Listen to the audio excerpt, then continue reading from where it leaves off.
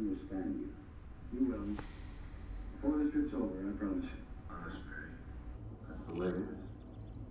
Oh. Right when I thought I had my life all planned and